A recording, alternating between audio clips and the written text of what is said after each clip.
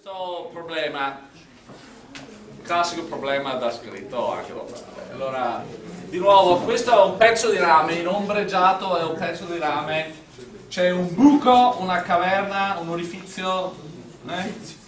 un orifizio come diceva il mio amico, c'è un orifizio e c'è un pezzo di rame appunto, con un buco. All'interno del buco c'è una carica, di, carica positiva di 5 microcoulomb. D'accordo? Allora, facciamo qualche semplice ragionamento. La superficie blu, questa curva blu, rappresenta l'intersezione della superficie di Gauss che racchiuda tutto. Mm? Era chiamata la superficie 1. Okay? Uh, qual è il flusso del campo elettrico attraverso la superficie blu, la superficie 1? Uh, ah, devo, devo, devo, impostare la, il flusso del campo elettrico attraverso la superficie blu è uguale a 1 su epsilon 0, quant'è epsilon 0, bla bla bla bla bla bla bla, a 1 su epsilon 0 moltiplicato la carica interna. La carica interna è più 5 microcoulomb, d'accordo? Adesso scegliete un'altra superficie di Gauss, di nuovo, eccola qua, questa rosa, ma questa rosa questa volta la superficie è dentro il metallo, è dentro il metallo, adesso è chiaro questo e vi chiedete qual è il flusso del campo elettrico attraverso questa superficie, la superficie che ho chiamato 2, questa superficie color salmone. Uh, questo è 0. perché è 0? È 0 perché nel rame, se io vado a calcolare il flusso, il campo elettrico è 0. Perché è 0? Ve l'ho detto poco fa, questo è un problema dell'elettrostatica, era la premessa. Elettrostatica, meglio scrivere. Elettro fatica. E quindi devo, sto cercando di impostare la sveglia, se no, quindi alle, alle, che ora devo metterlo? Alle 10.50. Tutti i punti del materiale, tutti i punti di questo pezzo di rame, che è un conduttore, tutti i punti del conduttore hanno lo stesso potenziale elettrostatico e quindi vuol dire che tutti i punti del rame avendo lo stesso, punto, adesso, avendo lo stesso potenziale elettrostatico, non ci deve essere alcun campo elettrico dentro il rame. Perché se ci fosse un campo elettrico qua, se ci fosse un campo elettrico dentro il rame, avrei una densità di corrente, le, cariche si muoverebbero con altre ipotesi, quindi non ho un campo elettrico. Su questi punti, se io faccio il calcolo del flusso, cosa devo fare del flusso? Devo prendere l'elemento di aria, devo fare le freccine delta e devo fare il prodotto scalare con un eventuale campo elettrico, ma non c'è un campo elettrico, quindi il flusso è zero, d'accordo? Quindi cosa dice la legge di Gauss? Se il flusso è zero vuol dire che la carica racchiusa dalla superficie del salmone è zero. Quindi evidentemente ci deve essere un'altra carica oltre a quella che io ho messo. E appassa un'altra carica. Io, io ho messo 5 e ci deve essere un'altra carica che avendo un flusso esattamente uguale a zero, questo mi implica che la carica interna, la carica interna, a quale motivo? Alla superficie rosa, a S2, la carica interna a S2 deve essere uguale a zero. Quindi ci deve essere un'altra carica oltre a quella che ho messo io. E deve essere esattamente uguale a meno 5, pico, 5, a meno 5 microcoulomb. Esattamente perché il flusso è zero. E dov'è questa carica? allora la carica che, che, che meno 5 microcoulomb appare sulla superficie interna come la posso disegnare? la disegno come tante, tanti segni meno okay magari la densità, e lo sto tirando, tirando, tirando un po' liberamente, forse più la, la, densità della carica negativa magari è più alta vicino ai punti, però questa carica negativa ci deve essere ed è una carica che è indotta, si dice che questa carica negativa che appare sulla superficie interna di questa caverna, questa carica è indotta dalla presenza di questa e la quantità di carica blu è esattamente uguale alla carica positiva. È questo che vi sta dicendo questo. Cioè il fatto che il campo elettrico sulla superficie del salmone è zero mi sta dicendo che è apparsa per la presenza di quello che ho messo io, è apparsa sulla superficie interna di questa caverna, sul, sulle pareti della caverna, è apparsa una carica negativa. E quella è una carica che si dice che è, stata, è indotta dalla presenza di questa. D'accordo? Va bene? Cosa vuol dire? Fermi tutti. Ah.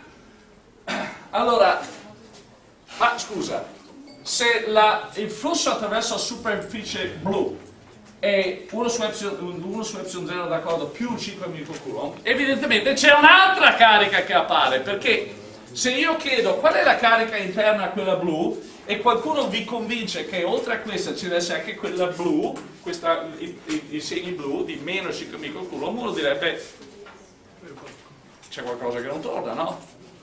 Perché se queste fossero le uniche cariche, 5 meno 5 fa 0, eppure dovrebbe essere più 5. La conclusione è che c'è un'altra carica che appare, e c'è una carica, come lo disegno, lo facciamo in viola, di cariche positive qua.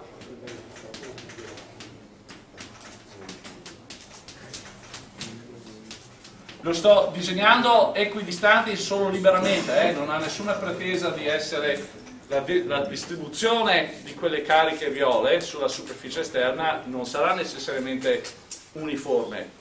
Se, questa, se, la, se questo spezzo di rame con la caverna fossero delle sfere, cioè se io avessi una cosa del genere, questa è la sfera esterna, questa è la caverna, e la carica viola fosse stata messa proprio al centro, allora le distribuzioni di cariche sarebbero state, sarebbero state uniformi. Mm?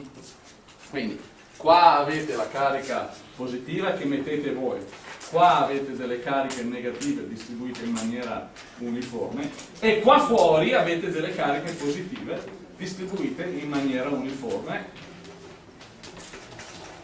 cioè la distribuzione uniforme sarebbe vera se, fossero, se la caverna fosse una sfera concentrica con la superficie esterna del rame e, pezzo, e la carica fosse messa proprio al centro. Invece se lo metto e la forma sono strane la distribuzione non sarà. Però qual è la morale? che c'è la carica che ci ho messo io.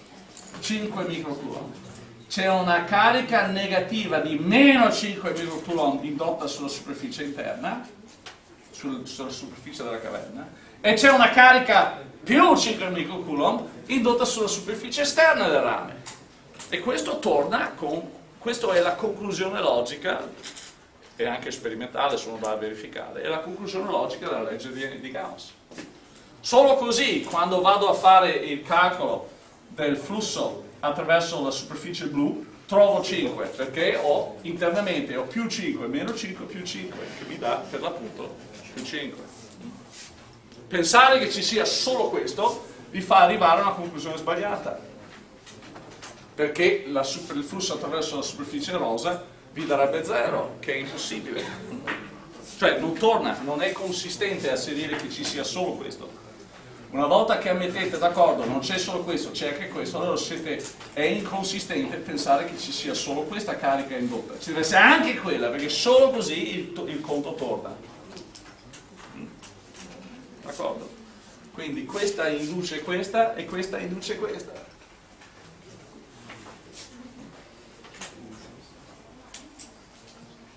Una variazione su questo è, eh, lascio a voi pensarci,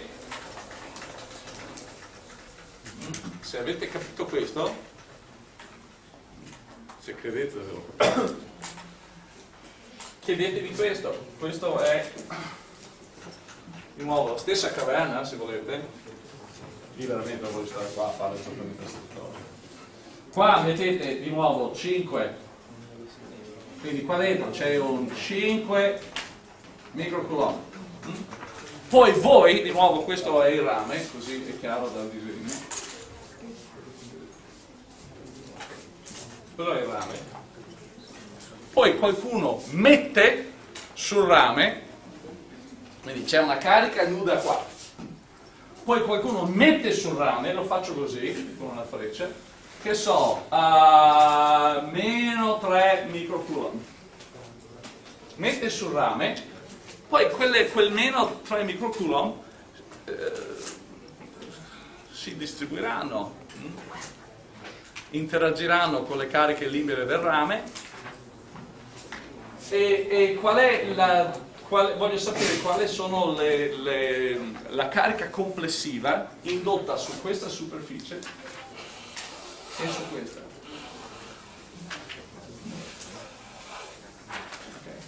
Non pensate che la soluzione che la, super, la, la carica uh, distribuita sulla superficie esterna sia meno, meno 3 microcoulomb, non è la risposta giusta.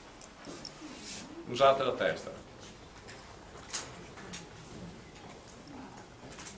Quindi voi mettete 3, meno 3, poi loro si muoveranno. La domanda è qual è la carica complessiva, la carica totale sulla superficie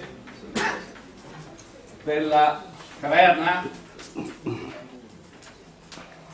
Caverna, questa è una domanda, e l'altra è la carica totale sulla superficie esterna. Meditate, d'accordo? Pensateci. Va bene, andiamo avanti.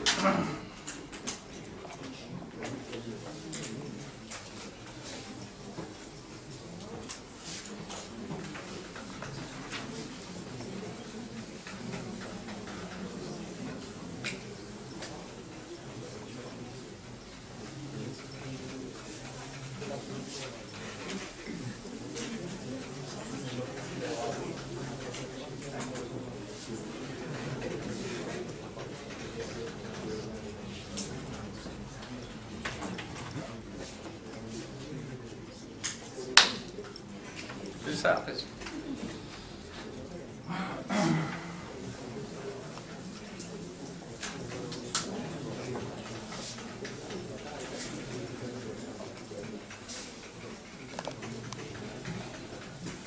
Va bene.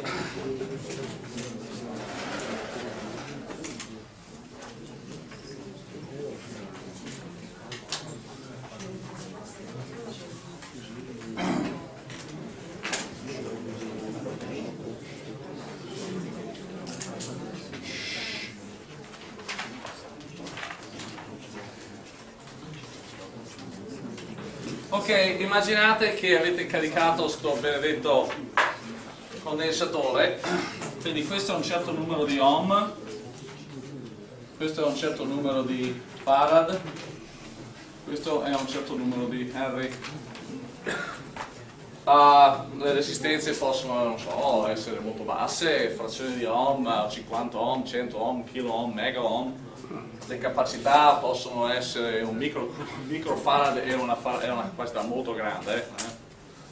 Uh, qual è di nuovo la capacità di una sfera di 10 cm di, uh, di uh, qual è la, la, capacità di una sfera isolata di rame? Sono, sono pico son picofarad, quindi microfarad è una cosa gigantesca. Quindi i valori tipici possono essere picofarad. Nella microelettronica stiamo arrivando a frazione di nanofarad, a frazione di picofarad. Eh? Quindi un nanofarad e, e microfarad è spaventosamente grande. Un nanofarad è un valore che si può trovare, la microelettronica è sceso sotto il picofarad. Picofarad. Uh, qua cosa sarà? Uh, millihenry, un solenoide. Se poi ci infilate dentro un pezzo di ferro dolce, magari centinaia di millihenry. Quindi un, un Henry è un'indutanza molto grande. Uh, quindi cos'è la, la, legge di Ohm? La legge di Ohm l'abbiamo scritta come uh, IR con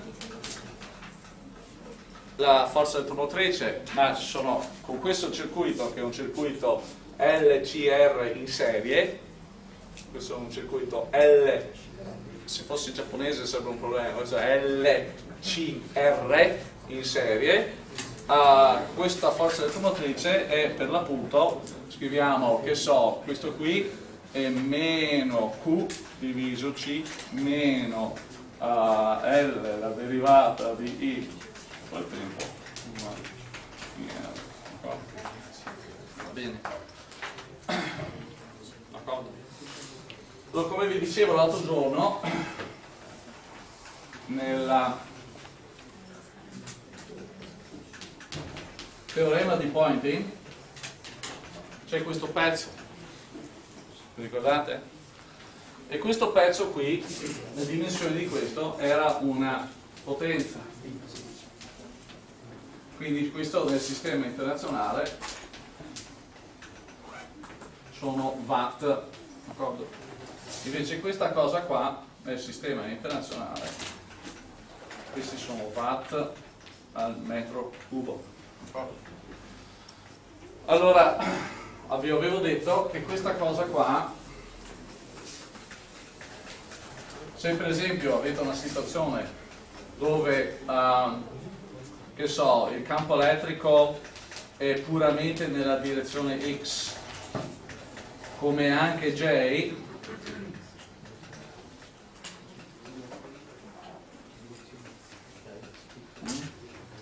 e se la J, questa Jx, dipende non da X ma solo da Y e Z, mm, non dipende da X, dipende solo da Y e Z, questa cosa qua può essere scritta così come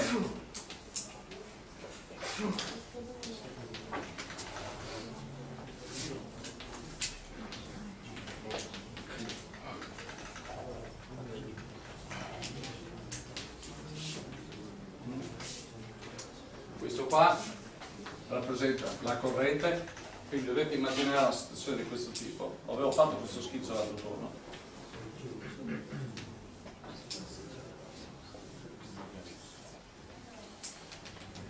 qui avete portatori di carica che si stanno muovendo in questa direzione. Vedete che la J la J dipende, è solo nella direzione X. Okay. il campo elettrico va solo in questa direzione. Quindi questa qua state integrando se volete questo è, il, è un dy dz state integrando in y e z. Quindi questo diventa se volete la sezione del filo. Quindi questo è ad esempio eccola qua. Eccola qua. Questa è la sezione del filo S.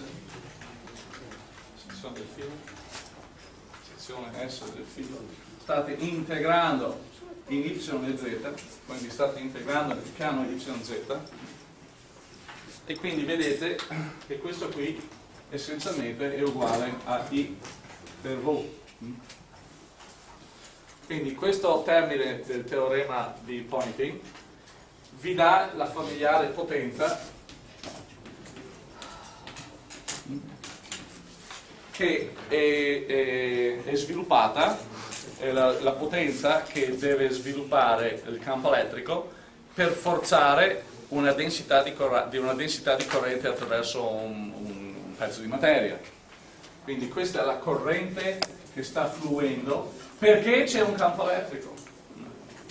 Quindi il campo elettrico sta sviluppando un certo numero di watt.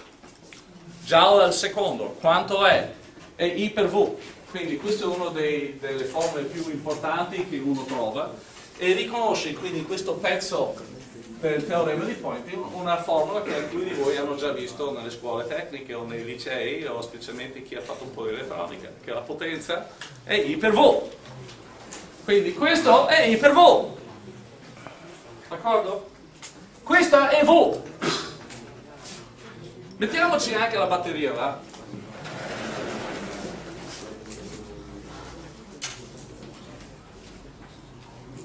Quindi sarebbe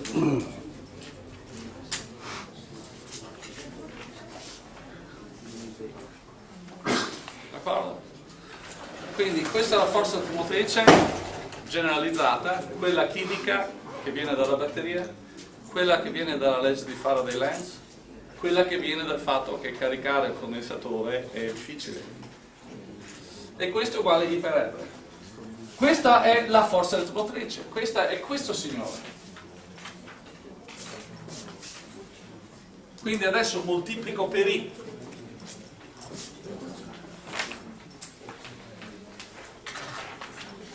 cos'è i? ok? quindi moltiplico tutto così faccio due passaggi prima questo è così per i meno L, I, D, I, R, I quadro. Cioè ho moltiplicato questa equazione per I.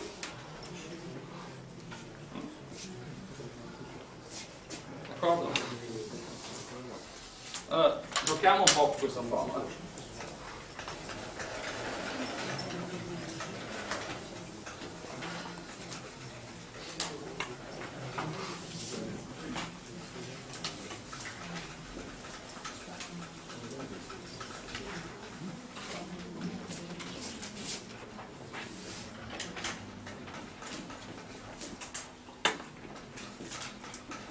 I lo scrivo così.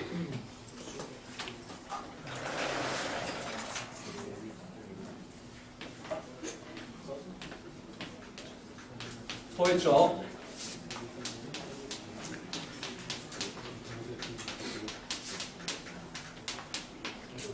Notate in primo luogo che questo è sempre positivo. Guardate questo pezzo qua prima. Io posso portare L, questa i sotto la derivata di i e quindi questo pezzo faccio qua, quindi questo, questo L, I derivata di I rispetto al tempo, io la scrivo così.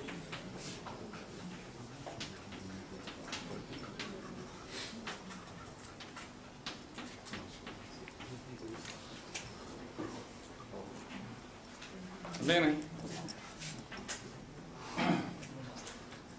Verificate a ritroso la derivata di questo rispetto al tempo, questo 2 verrà giù e ammazza questo, e ho L per I per la derivata di rispetto al tempo. Analogamente questo pezzo cosa farò?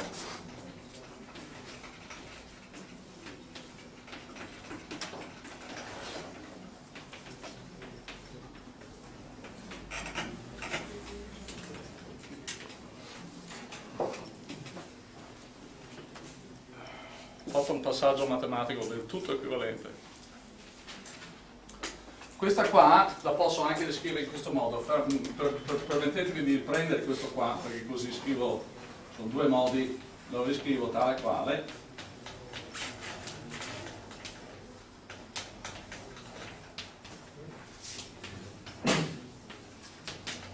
C'è un altro modo di scriverlo, che viene dalla definizione della capacità. La capacità cos'è? È Q fratto V, quindi questo può essere scritto anche così.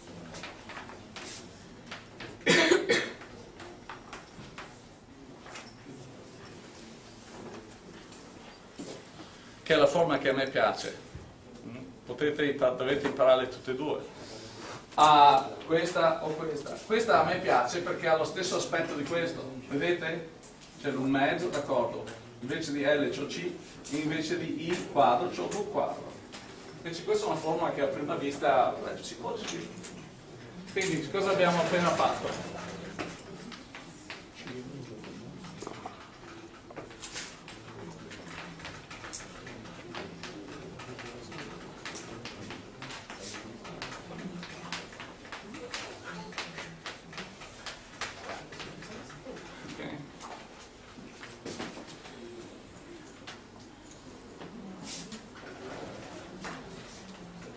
Allora,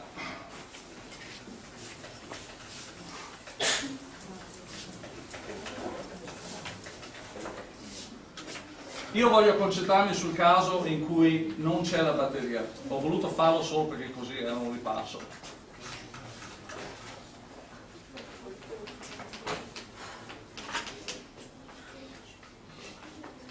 Ok? Quindi questo diventa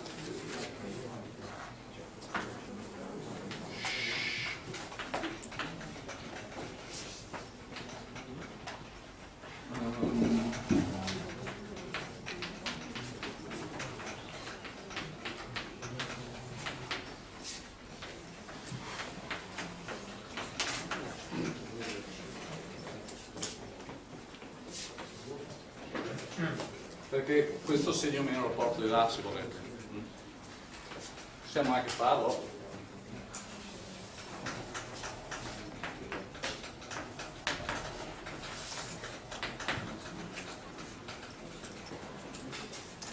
Questa come viene interpretata? questa è la potenza erogata dalla batteria. La potenza erogata dalla batteria deve um, deve fare due compiti. Deve andare in questo pezzo e deve andare in questo pezzo. Immaginiamo che la batteria non ci sia, quindi abbiamo solo questo. Questo mi sta dicendo che se sempre uguale a zero. Quindi quando chiudo il ritenutore, cosa succede?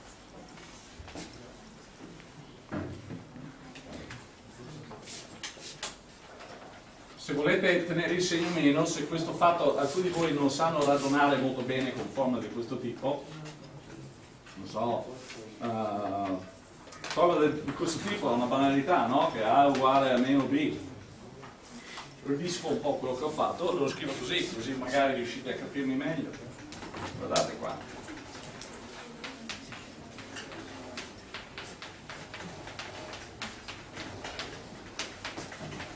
Facciamo, dove conviene mettere il segno meno? Facciamolo qua.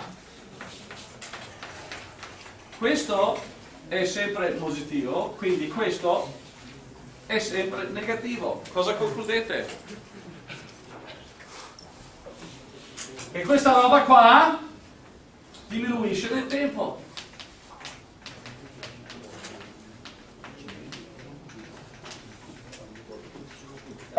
Ok? La roba che era chiusa dentro le parentesi non è costante. Diminuisce il tempo. Perché diminuisce il tempo? Perché questo pezzo di qua è sempre negativo questo è sempre positivo, quindi questo è negativo, questa roba diminuisce sempre. Non diminuirebbe se la R fosse 0. Se non ci fosse questo, quella roba in mezzo alla parentesi non diminuirebbe, sarebbe una costante. Questo dovrebbe ricordarvi qualcosa.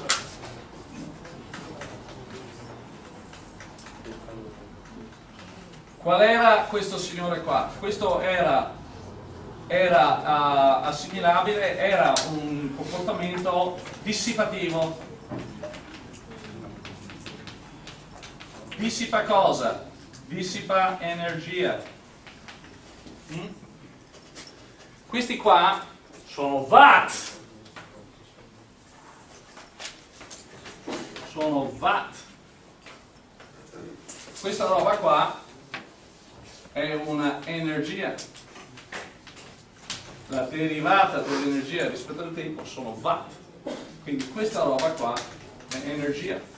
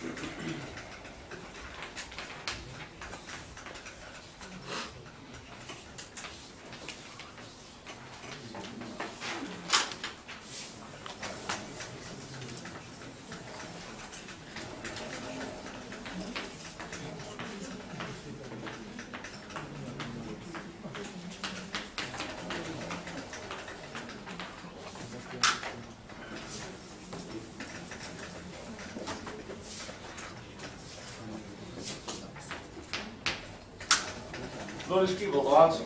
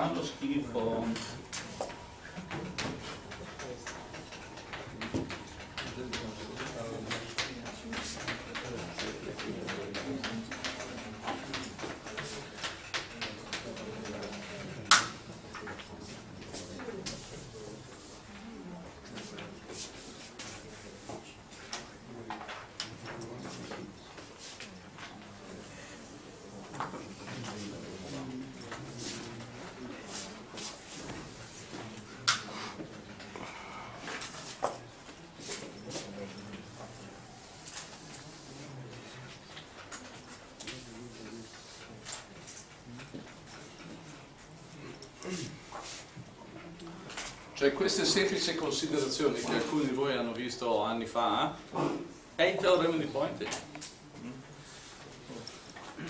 Questo qua,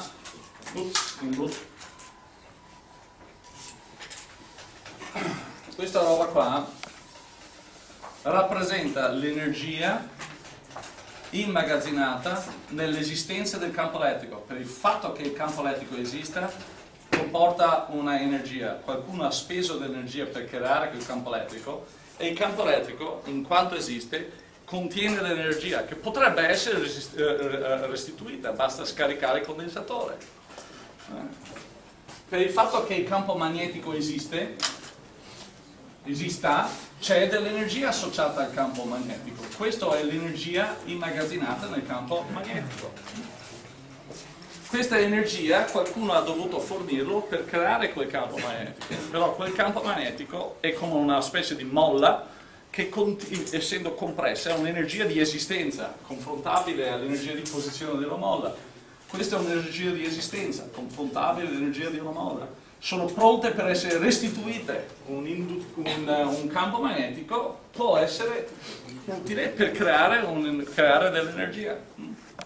Ahimè, questo mi sta dicendo che questa energia e questa energia, la loro derivata rispetto al tempo, sarebbe zero se non ci fosse questo signore qua. Ma perché c'è questo signore? La derivata di questa roba non è zero, è negativa. Quindi l'energia complessiva che c'è nel campo elettrico e nel campo magnetico non è costante, ma sta diminuendo nel tempo. Perché la resistenza sta dissipando energia. Mm? D'accordo? Vorrei un po' convincervi su questo fatto, con dei numeri, con dei calcoletti. Dovete... Tutta questa roba è sul PowerPoint, la vita è troppo breve per farvi, non abbiamo abbastanza ore per farvi tutto, il materiale non a caso c'è sul PowerPoint, perché uno se lo guarda, scende nei dettagli che ritiene utile per affrontare un orale e viene preparato. Mi chiedo chissà che. Però vorrei, per esempio, pensiamo a un condensatore a facce parallele, eccola qua.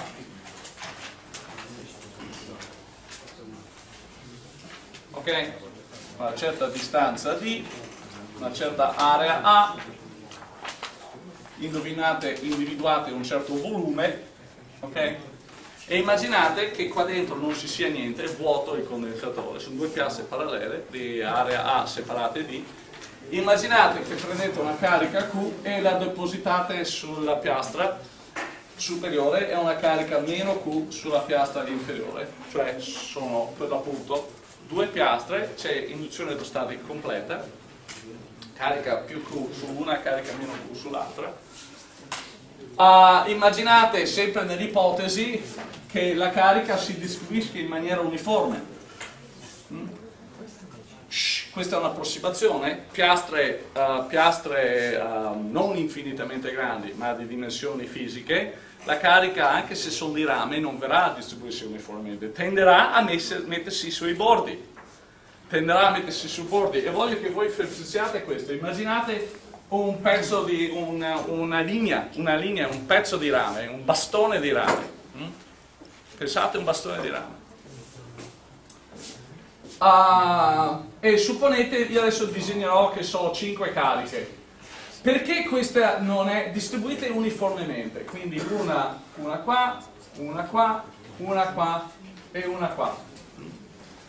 Perché le cariche non si distribuiranno in maniera uniforme? Pensateci. Questa carica, per esempio, ha una molto vicina, ha una vicina, ma anche questi due che questo non ha. Quindi questa carica qua, se queste sono tutte positive, positivo, positivo, positivo, positivo, positivo, questa non è una configurazione stabile. Perché questo, se è di rame, eh, se questi portatori di carica sono liberi di muoversi, vi sto chiedendo, questa è una distribuzione statica, stabile? Perché no? Perché questo signore sente una forza verso sinistra maggiore per il fatto che lui a destra ha questo, questo e questo. Quindi questa carica verrà spinta di là più di quanto è spinto di là, cioè lui risente di due forze, risente dalla forza di pulsione di quella sinistra e della somma vettoriale delle forze di repulsione delle cariche a destra.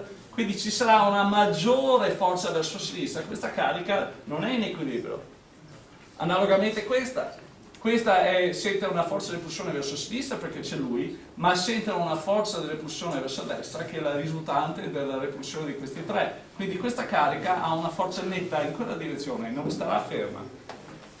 Quindi la distribuzione uniforme non è per un bastone la distribuzione di, equilibrio, di, la, la distribuzione elettrostatica. È più plausibile che sia una cosa del genere. Chiaramente avete queste cariche qua perché non posso andare sulla parte, forse questa al centro perché lui ha una risultante 0 e questa qua sarà più vicina. Eh? perché lui è spinto di là con una forza maggiore quindi lui, la posizione di equilibrio è che sia più vicina a questa in modo che la forza forte di repulsione verso destra sia bilanciata dalla forza di repulsione verso sinistra. Quindi questa è la distribuzione di equilibrio. Vedete che ci sono più cariche verso gli estremi quindi se prendete una piastra di dimensioni fisiche e un'altra piastra uguale ci mettete sotto la carica, le cariche tenderanno a mettersi sui bordi e non uniformi. Quindi quello che sto facendo è un'approssimazione. Immaginiamo quindi che la piastra sia molto grande e possiamo immaginare, è una ipotesi di semplificazione, che la carica si distribuisca in maniera uniforme. Non è vero, ma facciamo l'ipotesi che lo faccia. D'accordo? Quindi qual è la densità di carica qua? La densità di carica, supponiamo che sia quella uniforme, sarà Q diviso A. D'accordo? Qual è il campo elettrico qua dentro? Il campo elettrico, appunto, è questa qua di approssimazione, che è cos'è? Era sigma diviso epsilon 0, giusto? Abbiamo fatto questo. Quindi calcoliamo questo pezzo. Io voglio che calcoliate il pezzo in blu quant'è l'integrale di un mezzo epsilon 0 e il campo elettrico al quadrato nel volume. Facciamo il conto, no?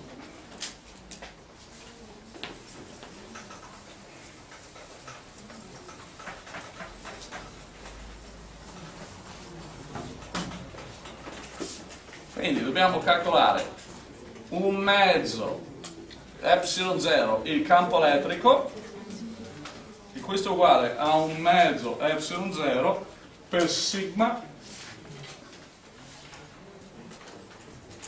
ok?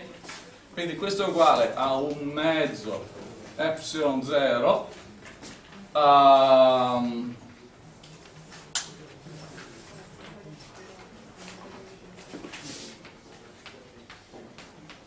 ok?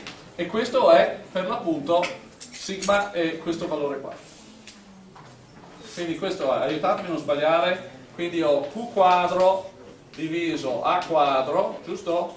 1 su epsilon 0 per il momento controllate mentre cancello che non abbia fatto errori stamattina i miei occhi non funzionano molto bene siamo d'accordo?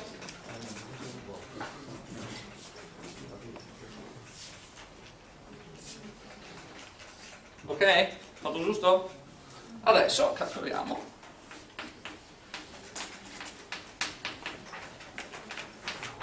Il volume, qual è il volume? Questa, la, questa qua, io sto calcolando questo ragazzi, ok? Quindi io ho, ho fatto questo, il campo elettrico è uniforme, quindi valore qua uguale al valore qua, uguale al valore qua, uguale al valore qua, uguale al valore qua. Quindi questo può uscire dall'integrale, quindi sto un mezzo epsilon 0 l'integrale, del, eh, cioè del campo elettrico al quadrato, moltiplicato per il volume. E qual è il volume? Il volume è A per D, questo è il volume. Il volume dello spazio dove c'è il campo elettrico, il campo elettrico è tra le due piastre nelle ipotesi semplificatorie. Quindi dovete ricordare che stiamo facendo questa ipotesi qua, che il campo elettrico è racchiuso dal volume, quindi questo è il vostro volume. Ovviamente questa è un'approssimazione perché in realtà la realtà è questa, che il campo elettrico in realtà fuoriesce dal volume, ok? Questa è la realtà. Quindi questa è un'approssimazione. Ok? Stiamo facendo un conto approssimativo. Quindi questo è il conto approssimativo che è, è uniforme e non fuoriesce, vediamo. Dovete essere consapevoli di queste approssimazioni. Non è in realtà uniforme, è fuoriesce per piastre vere. Per piastre ideali stiamo immaginando che siano il campo elettrico è uniforme, bla bla bla. Quindi questo diventa il campo elettrico uniforme, il valore che è comune a tutti i punti all'interno del volume, e mettiamo i pezzi assieme, no? Quindi abbiamo questo, questo è l'approssimazione, quindi il valore all'interno del, del, condensatore ideale e quindi mettiamo, io non vedo niente stamattina, vediamo sono andati, quindi, quindi Q quadro A quadro 1 su epsilon 0 che moltiplica A per B. Quindi questo A ammazza quello uh, e mi rimane un mezzo Q quadro diviso a A epsilon epsilon A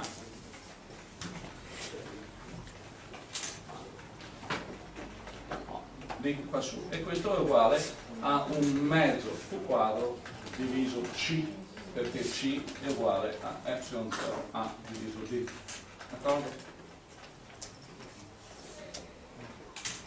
d'accordo?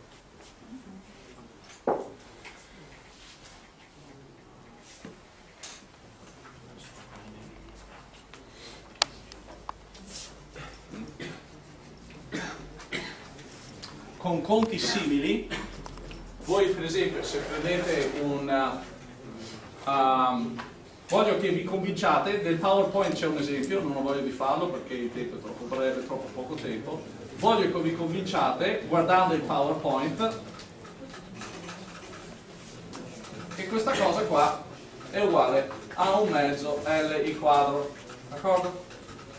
Per, non so, un cavo quasiale, un solenoide, un toroide, non mi ricordo quale esempio ho riportato nel PowerPoint, convincetevi, con un conto analogo. Mm? Domanda per esempio, pensate a un cavo coassiale.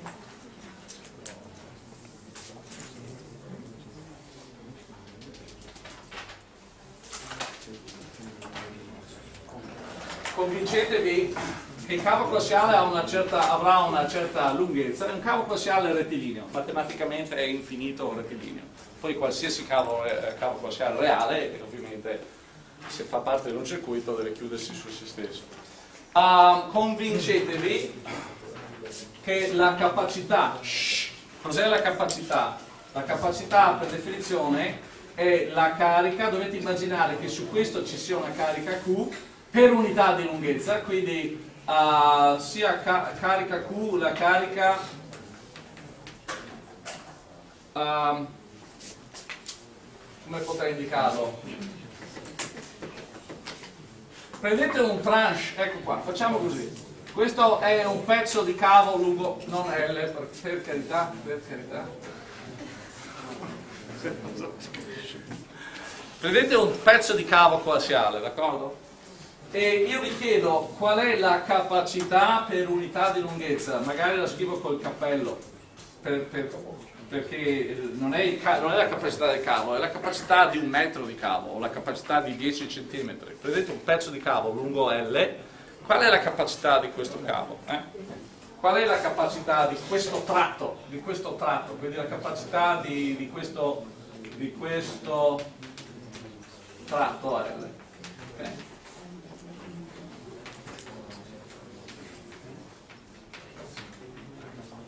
E fate che non so sia um, um, sarà questo sto un momento di, di, di, di, di, di coglionimento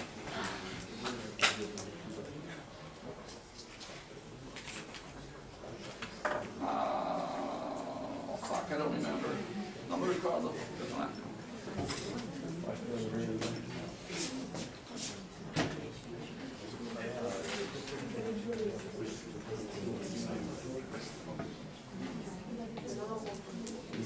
Eccolo qua, credo che sia questa la forma. Allora, se, se questo cavo interno ha diametro a raggio A e questo esterno ha raggio B, quindi faccio il disegno meglio. Questo è il cavo quasiale in sezione. Questo è l'anima interna che ha diametro A, va bene? O raggio A. Questo ha raggio B, va bene? Raggio A e raggio B. A è quello interno, B è quello esterno. Allora la capacità sarà 2π epsilon 0 diviso il logaritmo naturale di P diviso A per la lunghezza L. Ok? Anzi, chiamiamo questo capacità e basta. Questa qua la chiamiamo C cappello. Scusate se ho cambiato idea, ma è meglio così. La capacità è la capacità, questo è un pezzo di cavo, e qual è la capacità? C. C è uguale a cosa? È uguale a 2π epsilon 0 diviso il logaritmo di P diviso A moltiplicato per la lunghezza del besto benedetto cavo. Quindi questo pezzo qui la chiamo la capacità per unità di lunghezza. La capacità al metro, quindi sarà farad al metro. Questa è la capacità per unità di lunghezza. Shh, silenzio! Ok? Quella è la capacità unitaria. Convincetevi di questo, come si fa a calcolarlo? Prendete un filo e un cavo quasiale fatto così, mettete sopra una carica Q e una carica meno Q qua. Qual è la differenza di potenziale? Quindi dovete calcolare la capacità è uguale alla carica diviso differenza di potenziale. Quindi per verificare questa formula qua dovete calcolare la differenza di potenziale che c'è tra un punto qui e un punto qui. Chiamate questo il punto B e questo il punto A. Qual è la differenza di potenziale? Il campo elettrico di un se io ho una, visto così, se io ho una carica positiva su questa, una carica negativa qua, Qual è il campo elettrico all'interno? Il campo elettrico esterno è 0, quindi se voi fate il grafico del campo elettrico in funzione della distanza dal centro, se questo è il diametro A e questo è il diametro B, il campo elettrico è 0 all'interno del rame, ha un certo valore e come muore qua? Come muore fino ad arrivare a 0? Perché è 0 esternamente? Questo è il campo elettrico in funzione della distanza. Perché il campo elettrico è così? Fate la latina di Gauss. Fate la latina di Gauss. So che sto correndo ma voglio rifarlo quindi. Questo è un filo con carica distribuito uniformemente. Mettete la latina di Gauss così. Vi ricordate? L'abbiamo fatto questo. Questa è la latina di Gauss, questa è la superficie matematica. E convincetevi che il campo elettrico dipende dalla distanza come uh, cos'è? Era, era, lambda, dove lambda era la densità di carica per unità di lunghezza, diviso 2 π ε0 r. Vi ricordate? L'abbiamo ricavato questo? Sì? Allora il campo elettrico è così. Allora immaginate, quindi a questo punto il campo elettrico va come 1 su R. Va come 1 su R, quindi calcolate la differenza di potenziale posso fare tutto per voi. Questo è la sezione, questo è il filo. Qua dentro il campo elettrico va 1 su R. Perché fuori il campo elettrico è 0? Perché fuori il campo elettrico è 0? Fuori è, è 0. Legge di Gauss, prendete una latina che contenga anche la parte esterna del cavo quasiale questo è una carica lambda al metro quadro, questa è una carica meno lambda al metro quadro. Ok? Questa qua fuori. Quindi prendete una latina di Coca-Cola che racchiuda tutte e due e convincetevi qual è il, campo, il, flusso del campo elettrico attraverso la superficie di Gauss che contenga sia la carica interna che la carica in, questa, in questo cilindro esterno. Quanta carica racchiude? 0, perché la carica qua è uguale alla carica qua. Quindi il campo elettrico qua fuori è 0. Il campo elettrico tra un filo e un suo cavo coassiale quello interno che contiene lambda e quello esterno che contiene meno lambda, il campo elettrico fuori, fuori è 0, dentro ovviamente nel, nel, filo interno è 0 perché è di metallo, il campo elettrico è solo nell'intercapedine, solo nell'intercapedine e dentro l'intercapedine va 1 su R. Quindi calcolate la differenza di potenziale tra la superficie interna e quella esterna, calcolandolo sull'intercapedine. E cosa viene fuori? Quando calcolerete questo e fate Q diviso quello, ottenete il valore di C e sarà questo. Prendo ancora un minuto per chiedervi di verificare questa formula.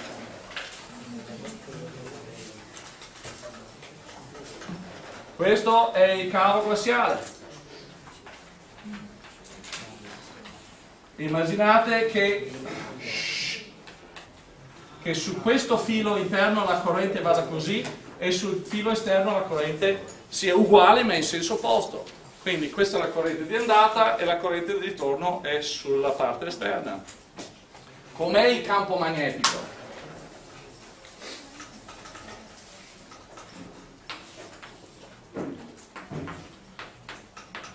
Com'è? se il filo qua, se la, corrente, eh, la densità di corrente è lineare, no? Se, scusatemi, se la densità di corrente è uniforme, se J è uniforme, abbiamo già visto questo esercizio, che fino al diametro, alla distanza A, il campo elettrico cresce linearmente, poi muore 1 su R fino alla distanza B e poi è 0 il campo magnetico. Perché è 0 il campo magnetico? qua è 1 su R e poi è 0. Qua va su linearmente se c'è una densità di corrente. Perché è 0 fuori? Legge di Ampere, no? Facciamo il caso che la J non sia uniforme e la J corra sulla superficie, quindi J sulla superficie. In quel caso non sarebbe così, ma sarebbe così. Non è lo stesso grafico di quello del campo elettrico? Quindi dovete immaginare un filo di andata dove la corrente per esempio corra solo sulla superficie esterna, poi la corrente del ritorno, il campo magnetico c'è solo nell'intercapedine, vi pare?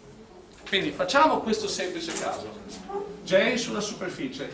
Se la storia della superficie non vi piace, pensate a un filo che in realtà sia cavo, quindi come un tubo di rame, un tubo di rame, un tubo di rame, e c'è un tubo di rame più grande quasiale, quindi la corrente d'andata su va su quello e la corrente di ritorno su quello.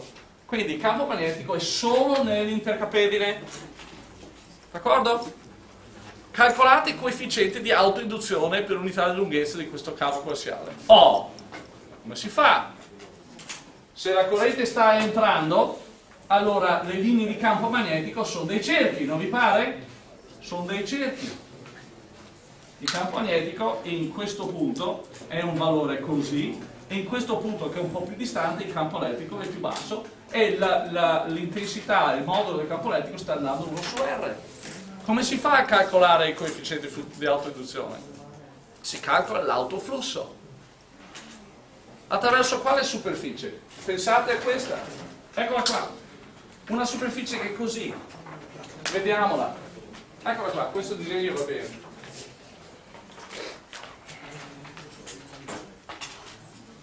questa, questo piano eccola qua quindi il campo magnetico sta qua a un valore, qua a un valore, qua a un valore, qua a un valore, sta andando uno su calcolate il flusso attraverso quella superficie rosa. E dovresti ottenere che il coefficiente di induzione di un cavo lungo L è uguale, vediamo se mi ricordo questo, che è mu0 non diviso 4π ma diviso 2π logaritmo naturale di B diviso A. Ovviamente per L. Quindi chiamiamo questo il coefficiente di autoinduzione per unità di lunghezza, quindi qui ci sarà un certo numero di Henry su metro, e questo è uguale a mu0 diviso 2π logaritmo naturale di b diviso a. Quindi questo è il coefficiente di autoinduzione per unità di lunghezza, vedete che c'è mu0, Henry su metro, e questa è la capacità per unità di lunghezza, vedete che c'è metro, Farad su metro. Quando moltiplicate per un certo numero di metri avete Farad, quando moltiplicate questo per un certo numero di metri avete Henry.